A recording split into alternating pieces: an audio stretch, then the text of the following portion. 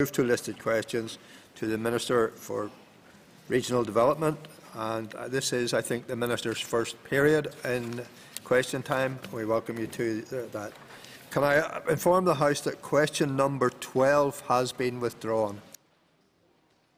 Sorry, question number 1 and question number 12 have been withdrawn. Mr Sammy Douglas. Thank you, Mr Principal Deputy Speaker. Question number two, please. Mr Principal Deputy Speaker, I am fully committed to the delivery of Belfast Rapid Transit, including not only the current phase which connects East Belfast, West Belfast and Titanic Quarter via the city centre, but also further future extensions to the north and south of the city.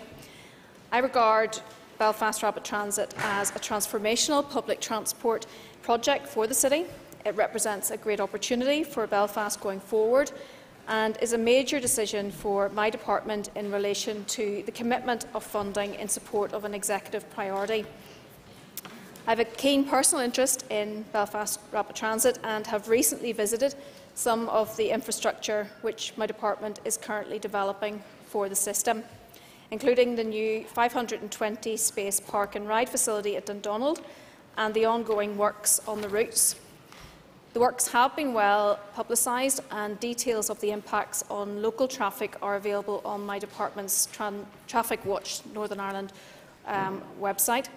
The changes which these works will introduce and which have already been introduced on completed section of the routes will provide benefits for existing public transport in advance of Belfast Rapid Transit becoming operational.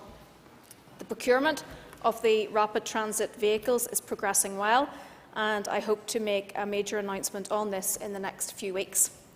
Phase 1 of the Belfast Rapid Transit System is scheduled to become operational in September 2018.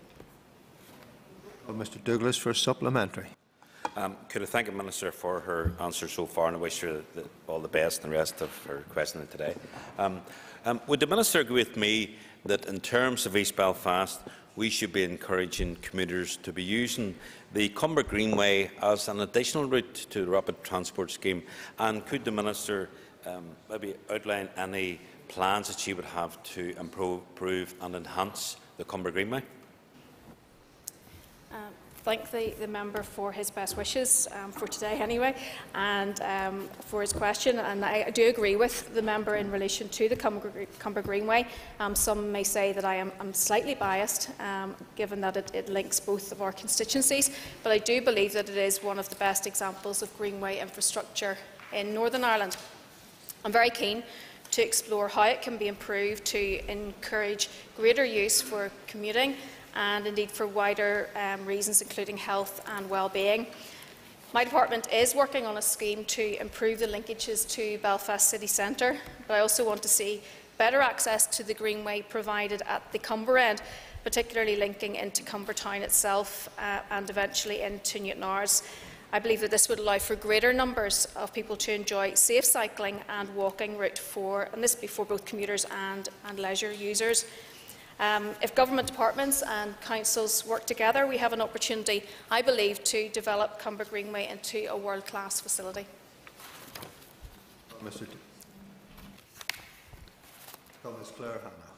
Mr Speaker, and thank uh, the Minister for her answers so far. You mentioned that there has been progress on procurement, but can I ask the Minister, are, are you confident that the revised deadline of 2017 uh, will be met for the vehicles to arrive uh, fully assembled, or uh, is there potential for that new deadline to, to slip? Thank the member for her question, and I understand that it is in, um, that that is no longer an issue, and that they should be in place. Um, the procurement process um, commenced in September 2014, and tenders were returned on the 1st of May this year, um, and those have been assessed. And as I said, the, there will be an announcement in the next few weeks. Um, that was obviously part of the, the PAR review, and uh, we're confident that it's on track to, um, to be delivered on time. Well, Mr. David McIlveen. Question number three, Mr. Principal Deputy Speaker. The member will be pleased to know that TransLink has commenced work towards the construction of a park and ride facility at Cullybackey railway station. A detailed design review and risk assessment, including a CCTV survey of the interaction of vehicles and pedestrians, at the existing crossing has raised concern that additional traffic um, introduced um, by the park and ride facility could potentially cause blocking over the automatic crossing. This assessment, combined with increased crossing incidents, has led TransLink to conclude that the level crossing at Cullybackey Station should be upgraded before the park and ride project is commissioned. The crossing upgrade involves significant railway signalling alteration works. Timescales for this work depend on the certainty of capital funding and also availability of signalling expertise currently engaged on a number of significant railway projects, most notably Phase 2 of the Coleraine to Londonderry track uh, relay project. TransLink has committed to aim for completion of both the level crossing upgrade and the park and ride facility in 2018-19. And it's anticipated that the land purchase will be completed in the current financial year 2015-16 once site surveys have been concluded. For supplementary. Thank you, Mr Principal Deputy Speaker, and uh, I would like to welcome the Minister to the box today and also thank her for her answers so far. Uh, the Minister, I'm sure, will be aware, having spoken to some local representatives in the area, that we do have an issue in, in the area where the park and ride facility at Ballymena has been put under immense pressure because there's actually very little alternative uh, for people to go given uh, the current situation with Cullybackey. Um, now that we finally do have a Minister for Regional Development who knows where North Antrim is, um, I wonder could I encourage the Minister to come and visit the constituency in the near future uh, so that she can see uh, for herself the, the pressing urgency upon this project? uh, thank the Minister for, for his comments and, and happy to, to visit the constituency yet again. Um, but just in relation to the, the issue which he raised with um, the Ballymena Park, um, undoubtedly um, the proposed park and ride at Cullybackey would, um, would relieve the pressure on that facility, um, certainly in the short to medium term, um, particularly from, for those commuters travelling from north of Ballymena. Um, Ballymena Park has 294 spaces and it's consistently at full capacity and on occasion it accommodates a number of vehicles well into excess of the designated number of parking bays on that site. Um, I am aware of um, traffic problems as our, our TransLink um, in relation to um, commuters parking for long periods of time outside local residents. Um, but um, hopefully in, in, the, in, the, in the maybe in the not so near future, but certainly within the next um, couple of years, that should be relieved. Mr Jim Allister. Could I express my dismay at the Minister's answer? It's two years since it was announced, headlines in the local paper about a park and ride facility at Cullybackey. March of this year, the department announced, in fact, they were going to provide 110 spaces. Now the minister comes to the House today and tells us they haven't even completed, completed the land purchase, that they now must revisit the level crossing, and it's going to be another three years before this basic provision is, is provided. Why is Cullybackey forgotten? And why is it also been forgotten in relation to its bypass? If we now have, if we now have a minister who knows where North Antrim is? Um, I'm not sure whether I should really thank the Minister for, or the, the, the, member for that question, but certainly he has an opinion in regard to that, and, and he will understand that I'm very recently into post, um, a post which was, was obviously held by, by another member, indeed another party in, in this chamber. Um, it has been drawn to my attention. I, I have asked for for an update. I'm asking for this to be progressed, and obviously we're working through the, the processes of that. Well, Ms Maeve McLaughlin. Well, good to thank the Minister and welcome the Minister to your first question time. Uh, could the Minister maybe on similar vein give an update then on the development of the park and share or park and ride sites at Dungiven and Claudy? Very well, good.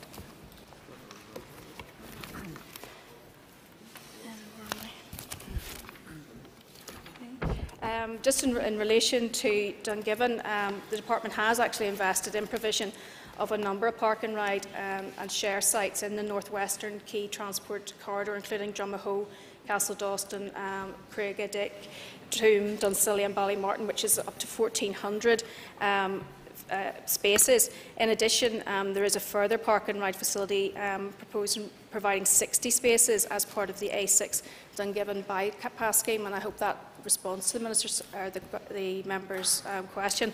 But if there's not something specific that I've missed on that, I'll I'll certainly come back to her. Do remind the members that this was a question which was specific to the constituency of and in around Cullybackey in particular. I call Mr John Dallat. Deputy Speaker, I'll do my best not to meander beyond Cullybackey and to thank the Minister for her continued interest in the Belfast Derry Railway and congratulate her indeed on taking that epic journey from Belfast to Bellarena recently to see the new passing loop. That was brilliant. Yes, the Cullybackey uh, Park and Ride is essential, but can the Minister assure me that there are no discussions currently taking place about the future of the Knockmore line, which is currently mothballed, because I heard a rather nasty rumour at the weekend that they were considering making it yet another greenway. Can the Minister dispel that? For the mem- I remind the member that this was a question specific to the Cullybackey Park and Ride. Sorry. then. Minister, if you wish to answer. Um, Well, I, th- I thank, thank the, the member um, for, for his question, and indeed, I, I had a very enjoyable journey um, to, to Bellarena to see the site there, and very encouraged by the works which are progressing and the impact that that will obviously have um, for commuters um, making the, the journey from Londonderry um, in, into Belfast and further. Um, just in relation to Knockmore, I, I'm not aware of the detail of that, and obviously, as the member has said, that this is a rumour which he's heard over the weekend, but I, I'm happy to look into that and come back to him. Call Mr Daithí McKay. Mr. Very Cahar, question number four. Northern Ireland Changing Gear, a bicycle strategy for Northern Ireland, is based around a three pillar approach. Those three pillars are building a comp- comprehensive network for the bicycle, supporting people who choose to travel by bicycle, and promoting the bicycle as a mode of transport for everyday journeys. This balanced approach underlines the importance of high quality bicycle infrastructure, good support measures for those who want to use a bicycle, and effective programmes for behavioural change. I'm particularly keen to explore opportunities to expand cycling infrastructure. In terms of building better infrastructure for the bicycle so that people can have the freedom and confidence to travel by bicycle for everyday journeys, uh, current work has focused on urban bicycle infrastructure and the potential to develop greenways. Both are key elements of the bicycle strategy and fit in with the main purpose of Eurovelo um, to provide routes that people can use both to make daily journeys and also for recreation. My department has had discussions with Sustrans in relation to the route for Eurovelo 1 within Northern Ireland. Uh, these discussions have included consideration of how Eurovelo might form part of the comprehensive network referred to in the bicycle strategy. McKay for supplementary. Gordon Maggett, I Privas Can I congratulate the, the, the Minister on her, on her appointment? Um, can I ask the Minister uh, what plans she does have to develop the Eurovelo to include uh, the North Coast, perhaps linking in to two potential greenways there from Ballymena uh, through to Cushendall and also the Armoy Greenway from Ballymoney to Ballycastle? Um, thank the member for, for his question. Obviously, this is something which is ongoing and is part of a route which is currently being developed, as is the funding associated with that. Um, again, funding is, is critical to these projects moving forward and also the availability of, of land acquisition as well. Um, and I'm not actually clear at this stage whether anything further would be required within those particular areas, um, but happy for officials to look at that um, as, we move forward through this project. But I think this is an exciting um, option to be looking at uh, and certainly something which will develop um, cycling within Northern Ireland. Call Mr Gordon Lyons. Uh, thank you, Mr Principal, Deputy Speaker. And well, this is my first question time uh, as well at DRD. However, I welcome uh, the Minister uh, as well and wish her well uh, in her post. Uh, the new uh, Queen's uh, Belfast bike station will be welcomed by, by, by many members, I'm sure, but perhaps the Minister could give us a general assessment of the scheme to date, whether or not there will be other stations that will be opened and whether this scheme um, could be extended to other towns in Northern Ireland. thank the, the member for his question. Um, Belfast Bikes has probably been one of the most successful bike share schemes that has been introduced in the United Kingdom, and the number of hires is now well above 100,000 um, since its launch in April this year. It is a Belfast City Council scheme, although my department provided capital funding of over £1 million for its implementation through the Active Travel Demonstration Projects competition. Last week, the, the Council announced an expansion of that scheme with two new docking stations at Queen's University, and I do know that the Council is giving consideration for additional sites. Now, obviously, the, the rationale behind the, minister, the member's question was um, whether this could be extended to his own constituency. But um, if, if other councils do wish to consider operating a bike share scheme, I would suggest that they do develop a business case, uh, as Belfast um, City Council has done, uh, and, and, hopefully we will see the scheme then being launched um, in various towns and cities then throughout um, Northern Ireland. Well, Mr Chris Lyttle. Thank you, Principal Deputy Speaker. Can I uh, welcome the new Minister to her post as well and uh, commend her department for the support it has given to Sustrans Belfast Bike Life report, uh, which has found nearly £12 million in health benefits to Belfast and 67p per mile saving to citizens of Belfast uh, through cycling.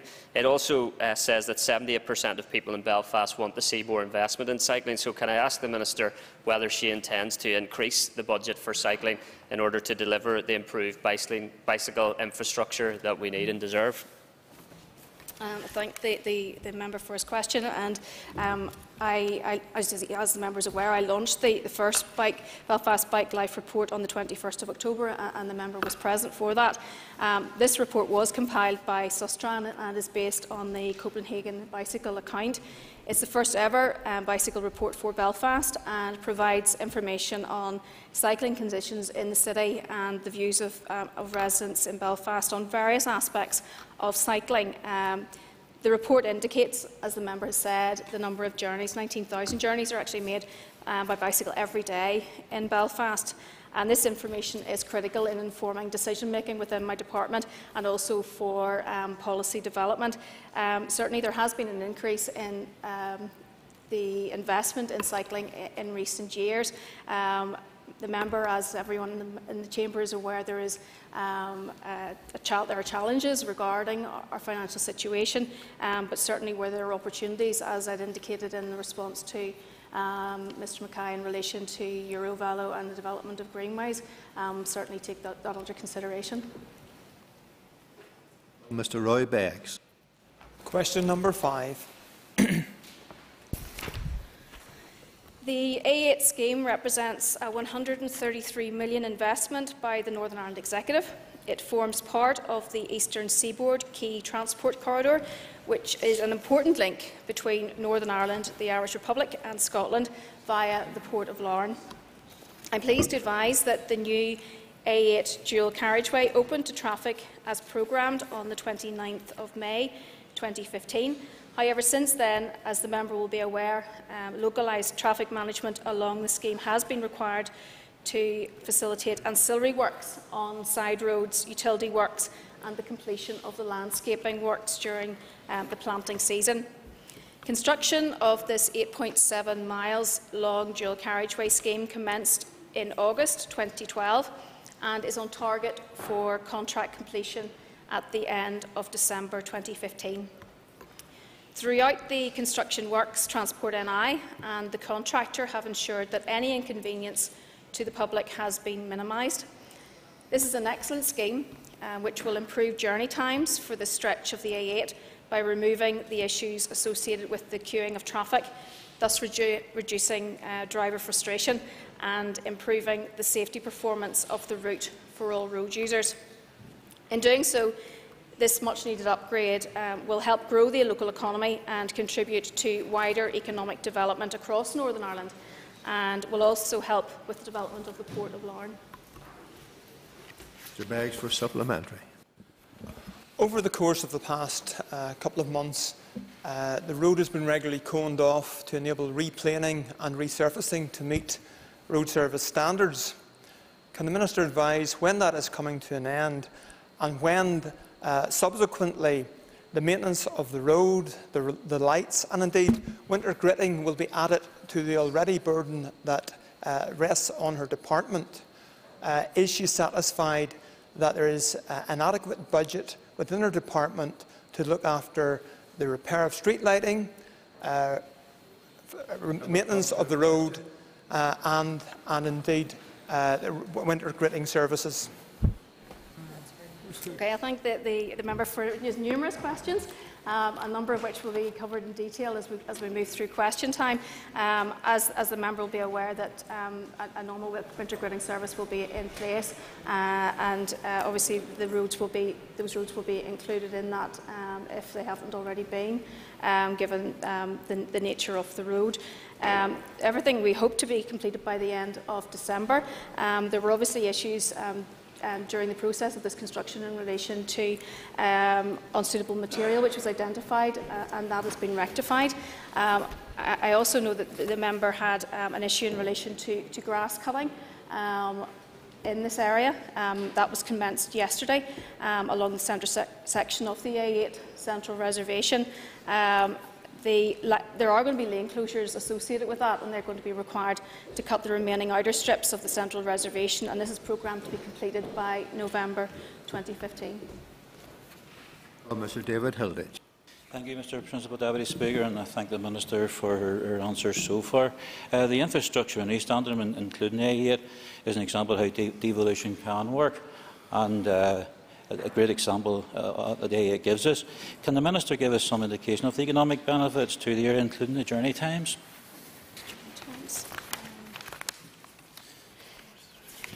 Yes, um, the, the traffic model um, suggests that on average journey times along this section of the A8 between Coleman's Corner roundabout and Ballyrickard Road will reduce by approximately 25% as a result of the scheme. This equates to a journey time saving of between 2 minutes 24 seconds and 4 minutes 56 seconds, which seems terribly precise, um, but that is depending upon the direction of travel and also the time of the journey. Well, Mr Kakaloshi. But uh, Brief Last Controller, and uh, I welcome the Minister to uh, her first question, the early question time. Um, there are many of my constituents who will look Grenade envy on the A8, but I wonder can the Minister uh, give us a final costings uh, for the A8 upgrade and whether or not that is above or below uh, the budget? Um, At this stage, the approved scheme estimate for the works was approximately 133 million. Um, as the contract for the work is, is currently ongoing, the outturn cost hasn't yet been finalised, so I'm not in a position actually to give the, the member um, the figure at this stage. Well, Mr Pat Brown. Uh, Deputy Principal Speaker, could I congratulate the Minister and wish her well on her, on her new appointment? Michelle, you made reference during one of the, answers to inferior materials being used on the road. Can you assure the House that this has no additional costings to the public purse? Um, I, ca I can actually, because this was actually um, in conjunction with the contractor. Um, immediate action was, was taken to, to address this, and the contractor uh, replaced the affected surfacing to ensure that it, to ensure that it actually met with the standards um, that my department require, and there was no additional cost um, to that. Mr Danny Kennedy. Question number six, and Mr Principal Deputy Speaker. Uh, Mr Speaker, um, the member will of course know that the winter service programme is provided to mitigate against the effects of adverse weather. It does not eliminate them. My department will be providing a normal winter service with over 300 staff and a fleet of 130 gritters available every day to salt the main road network. Salt barns have been filled to a maximum capacity of over 70,000 tonnes, with reserve stocks of around 20,000 tonnes in place. Salt bins and grit piles will be provided at strategic locations for self-help purposes. To further improve resilience, I have approved the purchase of four more snow blowers to supplement the department's current eight blowers. Snow clearance contracts are in place to enable contractors and farmers to be mobilised to clear roads during periods of prolonged snow. In addition to the preparations for adverse road conditions, Northern Ireland Water maintains a major incident plan to provide a fully planned reactive response to any major weather-induced incidents. TransLink also has severe weather management plans in place to cope with the effect of severe winter weather on public transport services. I fully recognise the importance of winter service to the people and the economy of Northern Ireland. Um, I've recently visited um, winter service depots at Ballykeel in Ballymena and Airport Road, Belfast, um, to meet staff and to see at first hand the vital um, work that they do, and actually just to realise just how passionate they actually are um, in, in, in, caring for all of us um, at a time of, um, of severe weather. Um, they do take on a responsibility, and I think we should be mindful of the fact that they actually go out when there is um, when it's frosty. Those roads that they are on are ungridded, and I think we should actually give them a lot of praise for the work which, which they do. Kennedy for supplementary. Principal Deputy Speaker, can I thank the Minister uh, for her answer and can I also take this opportunity uh, to, to wish her well uh, in her new role. Uh, can the Minister confirm that she has the necessary resources, financial resources, to properly and fully fund winter services? Uh, can I thank uh, Mr Candy for his good wishes um, as, I, as I move forward in this role, um, and, I, and, I, do appreciate that. Um, yes, I can confirm that um, there is adequate funding for to uh, maintain a normal winter service. Mr Trevor Clarke. Um, thank you very much, Mr Principal Deputy Speaker, and can I, like others, um, welcome the Minister to our first question time. Just, just following on from the initial question there, What plans has the Minister um, and preparation plans in relation to the 2011, or sorry, to, pre to prevent an incident like the freeze thaw event in 2011? And has the Minister anything prepared to prevent the likes of that happening again? Um, I thank the, the member for, for his, um, his answer or his questions. And in relation to that, it's particularly around um, Northern Ireland water. Um, and I, I, remember this particularly well. At that, at that stage, I was, I was deputy chair of the, of the Regional Development Committee. Um, but one of the key recommendations coming out of that in the Northern Ireland Authority of, for Utility Regulation report into the freeze thaw of that year was for Northern Ireland Water to undertake a major public awareness campaign and that was in an effort to reduce the extent of water wastage on the customer side. Um, Northern Ireland Water is currently embarking on the fifth year of its winter advertising campaign, which will include television, radio, press, outdoor and online advertising. Uh, the theme of the campaign will retain the well-established Beat the Freeze message. In fact, a, a number of members in, this uh, chamber, including members of the committee, um, took the opportunity to get involved in, in, the, in, some photographs in preparation for the launch of the campaign last week. Um, Northern Ireland Water in, intends to use um, media interviews to advise customers on the prevention of frozen pipes and wastage caused by burst pipes, uh, including a video on precautionary measures. Northern Ireland Water also maintains a major incident plan to provide a fully planned reactive response to any incidents that may impact on customers, the environment or business.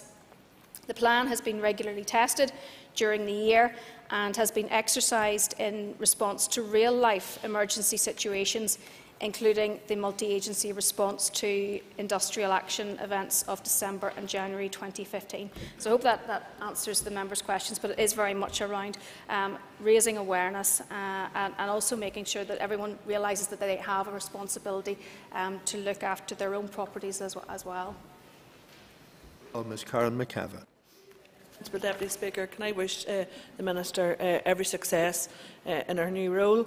Um, just moving on uh, from that, I would like to ask the Minister, um, given that RPA has just happened and we have new councils, is the Minister confident that the new councils have signed up uh, to play their part uh, in the clearing up of any snow of ice? And that I would like her to include in her answer maybe uh, to do with our footpaths uh, in our towns and cities to keep our businesses open.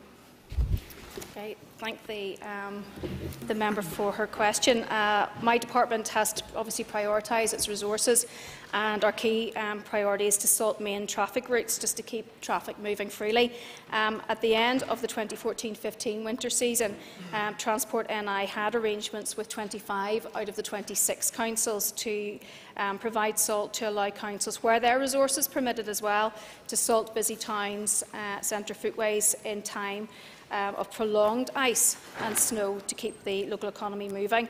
Um, at this stage, Transport NI is currently in discussions um, to roll the, these arrangements over with the new council, um, but it isn't anticipated that there should be any issues in relation to that. Um, so, and I hope that, that answers the member's question. That concludes the period for listed questions. We now move to topical questions. I call Ms Claire Sugden. Uh, thank you, Mr Principal Deputy Speaker, and I congratulate the Minister on her new role and also pay due regard to Mr Kennedy. Um, I uh, worked with the Minister's predecessor on, a, on, towards a solution for a significant and dangerous traffic problem in Castle Rock Road, Coleraine. Um, would the Minister provide me with an update? Okay, um, thank, thank the member um, for a question. Um, yeah, I am aware of the, of the issue at Castle um, Rock Road um, and of, obviously the nature of that in relation to um, school traffic and the movements in and around that area. Um, I understand that there have been a, a number of um, uh, various measures have been put in place in order to try to reduce um, risk there. There's a, a, a microprocessor optimised vehicle um, actuation system was introduced in, in May 2013. Um, a puffin um, controlled pedestrian crossing was also installed and we've also looked to improve cycling pedestrian facilities along the Castle, Castle Rock Road. Um, so there, there, are a number of competing, competing demands in that area um, and obviously it, it, has become an issue uh, and we're looking to see that those um, to monitor how those are, are progressing as a solution. Sugden for a supplementary. I thank the Minister for her response and further to the measures she's outlined. I do feel the problem is significant toward, uh, toward more measures in that area. Um, will the minister, uh, minister, commit to working with the Minister for Education in, in a way of uh, providing a solution to this problem? Uh, thank the, the member for, for her, her supplementary question. Um, I am I'm happy to do that, and I'm also um, happy to, to, discuss this further with the member. Um, uh, and if it, if it, helps to actually visit the site, just to see what, what the issues are, uh, and help to bring that to a resolution. Mr. Dominic Bradley. Question number two, please. It's a topical question, Mr. Bradley. Um, excuse me, sorry. Yeah, um, could I ask the Minister, um, is she satisfied that the £14 million invested in the new railway station in Newry has been fully expo exploited by the rail company? Um, I thank the, the, the, member for his, his, question, but it might be useful for him actually to give me some more information as to, to, where he feels there may be some failings in relation to that, and obviously his own perspective coming from the constituency. Um, so if the member would like to, to, to enlighten me further.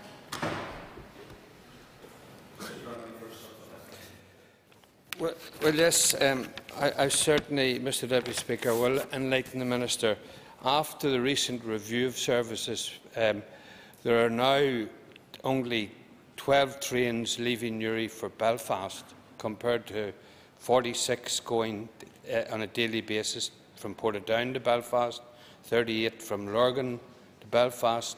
There's a 30-minute service from Portadown to Belfast, yet the Newry service has intervals of up to one and a half hours. So I hope the Minister sees that there is an imbalance there, and I would ask her, will she review this situation with a view to uh, increasing services from Newry to Belfast. I thank, thank the, the, member for that additional information. Um, my understanding is that um, current numbers using um, trains from Newry, Poyntzpass and Scarva um, um, probably don't uh, justify additional services, particularly in, in the uh, early morning services. I will ask officials to, to look again at the timetable in, in Newry to see whether or not there is a possibility to, to maximise um, further usage out of the station. Um, you will understand that um, the revised timetables came about as a, as a reduction in, um, in budget to the department. Um, and, and, therefore to, to TransLink. Um, so this is all part of, of a, an additional re a review that's been carried out. I'm happy to take this back and to look at it again. Mr Phil Flanagan. A free or last concluded, I must say it's good to see the Minister here and not in the castle. I'm sure she enjoys our company more than that of her executive colleagues. Uh, Minister, 16 people lost their lives on Fermanagh roads in the last two years, making it the policing area with the, the highest death toll from collisions. Uh, and there were six facilities on the A4 from Enniskillen to Fivemiletown and three on the A47 between Kesh and Belleek. Does the Minister accept the need for enhanced road safety measures in Fermanagh? And what specifically does her department intend to do to make uh, roads more safe in Fermanagh? Uh, thank thank the, the, the, member for his question and um, how could I resist not coming to the Assembly Chamber to give my first question time? It was really the only thing I wanted to do today. Um, obviously the death on, on on the roads in Fermanagh or indeed any road in Northern Ireland is certainly a tragedy. Um, my department worked closely with the PSNI and other agencies to assess um, any safety measures which are required on specific roads uh, and obviously take account of all the recommendations which are, are made by, by, by the police and take action where necessary. Uh, again, as, I, as I've made clear to other members in the chamber, if there are particular roads which are which are of a particular which are of an issue which which you believe um, require um, specific attention, I, am happy to meet um, with the member to discuss those. Mr. Flanagan for a supplementary. I thank the, the, Minister for her answer and her uh, open-mindedness on this issue. Uh, on, on, a more general point, um, does the Minister um, accept the key role that cat's eyes play on our roads, particularly in dark weather uh, at times of, of heavy rain, uh, to show motorists where the roads go and where there are dangerous corners. Because if you travel around uh, the south of Ireland, the cat's eyes are, are, much brighter and I think they're at a higher standard, whereas in the north it's much harder to see them. D does the Minister uh, accept that and will she commit to pr the prioritisation of funding for cat's eyes in future budgets? Um, thank, thank, the member for, for a supplementary. Um, and cat's eyes are recognised as um, a safety device used in road marking, and as the members highlighted, are particularly effective in wet weather and, and also in, in fog when the effectiveness of road markings themselves are particularly reduced. Um, obviously, the requirement um, for cat's eyes to be install, installed on a road will be um, assessed by the local section office but um, as I've said, I mean, road safety is a priority, um, and any anything which will mitigate against the loss of life should um, be included and should be seen as a priority within my budget. Mr. Michael McGimpsey. Uh, thank you, Deputy Speaker, and can I too welcome the Minister to her first question time. Can I ask her that, in view of the fact that uh, in, in built-up areas, planning permissions no longer carry with them parking requirements, uh, does she agree with me that the best way to protect local communities in areas such as South Belfast who are polluted by on-street car parking, that residents' parking schemes are the best way forward? Thank the, the member for, for his question. Um, and, and certainly, regardless of whether it's in Belfast city centre or even in some, some market towns around the province, um, parking, um, particularly in, in, residence areas, um, can prove to be um, a problem. Um, I do, I do, and I'm aware of the fact that my officials were, have been involved in advertising and the consultation process for uh, a parking scheme in, in South Belfast, and, and I do understand that there were a number of objections to that, um, and they're currently be, being worked through. Um,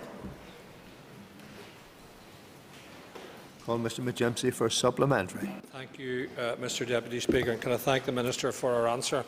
And can she assure me that in respect of the various proposals for residence parking schemes, that she will effectively keep the pressure on her department till we get to a resolution to give these communities uh, a much-needed breathing space? Thank you. Um, thank the, the the member for his, um, supplementary question.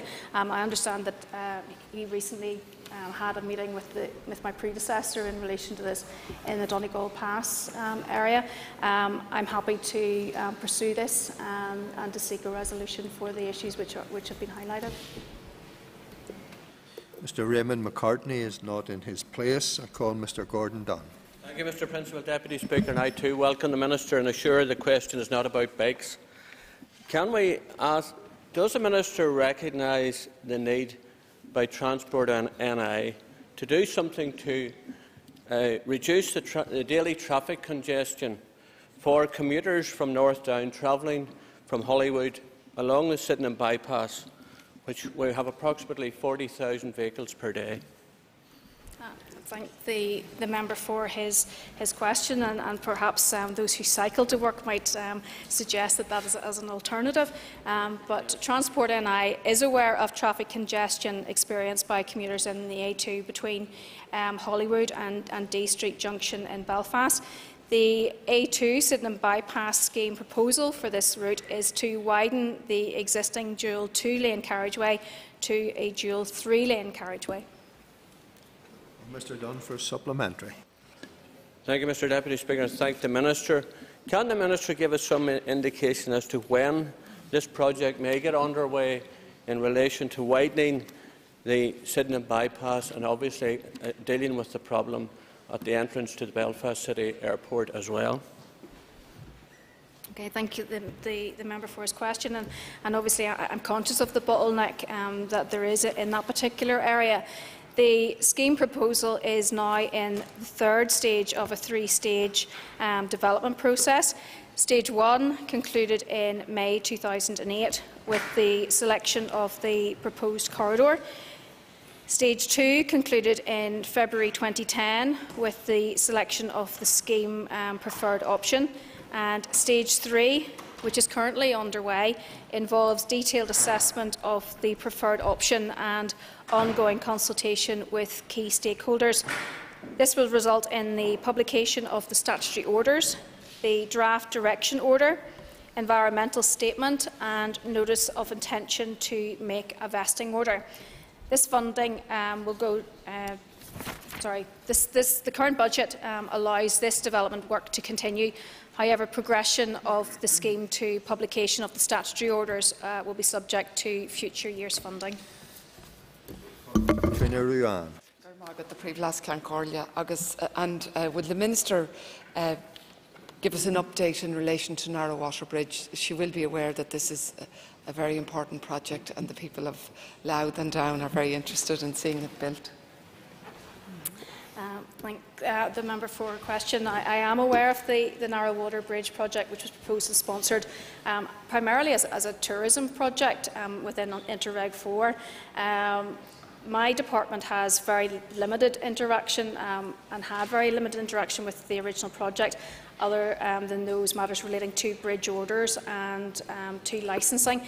I'm, I'm, unaware of any specific intentions in respect of bringing this project back to life, although I have heard um, speculation uh, and news reports, but as yet I haven't had any um, firm update. Ms. Ruane for a supplementary.